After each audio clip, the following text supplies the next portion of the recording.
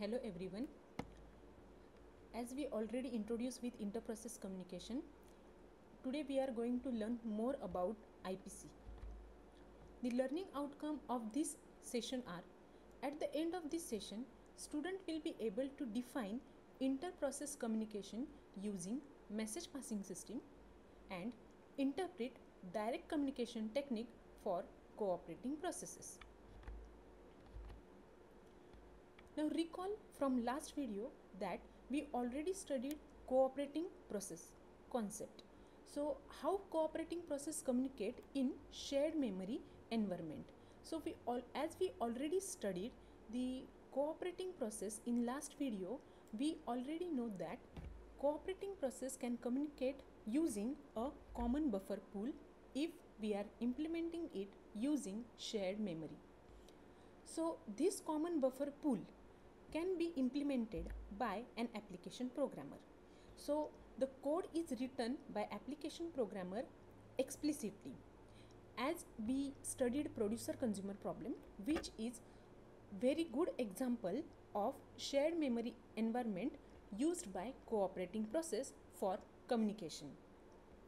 In producer consumer problem, producer and consumer communicate with each other using common buffer pool and this buffer is implemented by application programmer explicitly. To get the same effect of communication between cooperating process, another facility exists in operating system that is called as a message passing system. Now this message passing system is a mechanism which allows process to communicate and synchronize their action without sharing a common address space. As we already know that there are two fundamental inter-process communication model. They are message passing system and shared memory. Now as shown in this figure, the message passing system processes communicate using information exchange. So process A and B can communicate between each other just by exchanging an information. While in shared memory, process A and B can communicate with each other using a shared memory region. This shared memory region is established at the beginning and then process A and B communicate with each other without any kernel intervention. So the shared memory is more faster than message passing because message passing system is implemented using system calls. Each time that system call has to be executed and that's why message passing system is slower than shared memory. Okay. Now from the two fundamental model we are going to learn about message passing system today. It allows process to communicate and synchronize their action without sharing same address space. Here processes do not share the same address space but they communicate with each other just by exchanging an information. So this message passing system is basically used in distributed system. Now what is distributed system? Distributed system is a system where the processes which wish to communicate with each other are reside on different systems and all these systems are connected with internet so the process present on different system communicate with each other just by passing message through each other. So this system is the example of this system is internet chat application or our whatsapp application where the participants communicate with each other by exchanging message but all of them require internet connection. So participants those who are connected with internet can communicate with each other and that system is called as a distributed system. So this message passing facility provides two operations send message and receive message. The message here the message used here the size of that message is either fixed or it either variable whenever two processes suppose process p and process q wants to communicate with each other then the communication link must exist between these two processes now the communication link can be either physical link or it may be a logical link. There are different implementation issues for this com- communication link. How are links established can a link be associated with more than two processes? How many links can be between every pair of communicating process? What is the capacity of link? Is the size of message that the link can accommodate is fixed or variable? Is a link unidirectional or bidirectional?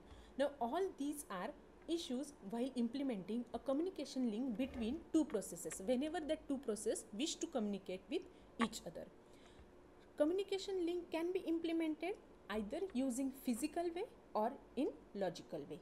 Now just pause a video and think how that communication link can be implemented.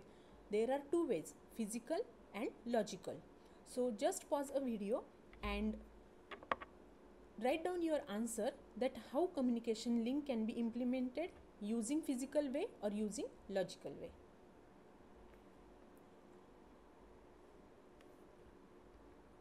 okay. Let us see the implementation of communication link. The communication link can be implemented in physical way. There are different types. Shared memory hardware bus network. In logical way there are again different types. That is direct or indirect mechanism synchronous or asynchronous mechanism automatic or explicit buffering mechanism. So here instead of going in detail of physical implementation of communication link we are going to see the logical implementation of communication link. So let us see the direct communication of direct communication between two processes. Now in direct communication processes must name each other. There is one sender process and there is receiver process. So both sender and receiver must know each other. The send and receive primitives are send p comma message means send a message to process p. Receive q comma message means receive a message from process q. The properties of communication link are links are established automatically. A link is associated with exactly one pair of communicating process. Between each pair there exists exactly one link. The link may be unidirectional but it is usually is a bidirectional.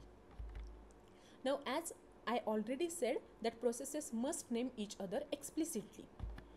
So there is a sending process and this is a sending process and this is a receiving process. Both contains message passing module.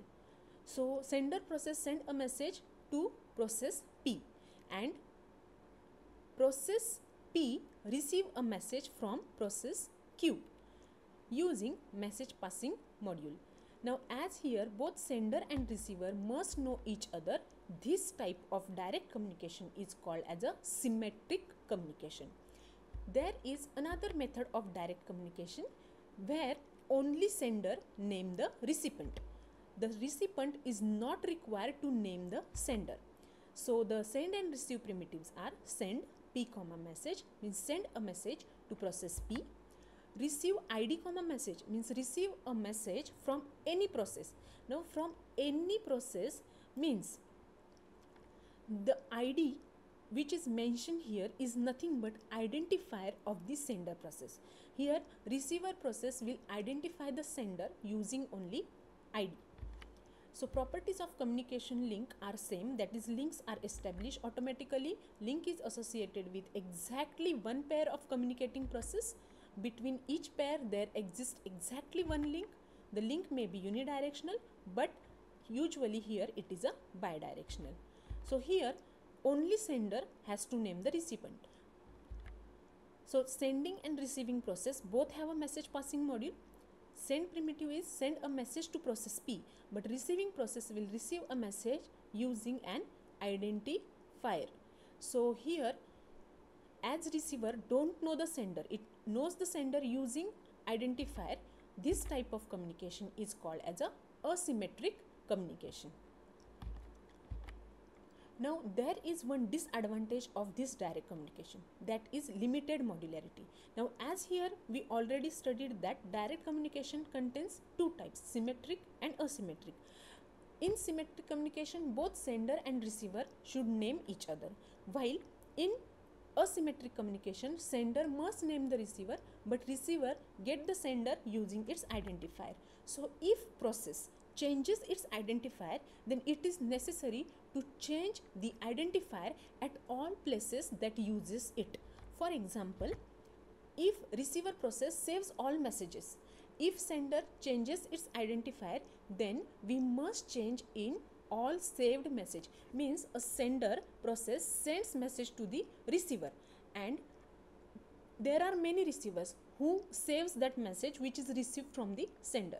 And this sender process changes its identifier. Then it is necessary to find out the old identifier at all receiver side and change that old identifier to new identifier of that sender process. So this is quite time consuming task and this is this gives limited modularity.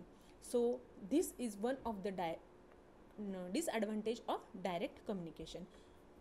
So this is what about the direct communication? These are the references. Thank you